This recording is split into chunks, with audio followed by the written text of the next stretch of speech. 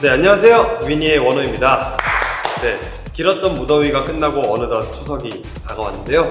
네, 저는 24년 추석을 위니와 함께 보낼 수 있을 것 같아서 너무 설레고 기대가 되는 중입니다. 위니들도 그렇죠? 우리 위니 남은 연휴도 사랑하는 사람들과 행복하고 즐거운 시간 보냈으면 좋겠고 원호도 위니의 사랑 가득한 추석 보내도록 하겠습니다. 네, 행복한 시간 보내길 바라고요. 그럼 지금까지 위니의 원호였습니다. 안녕!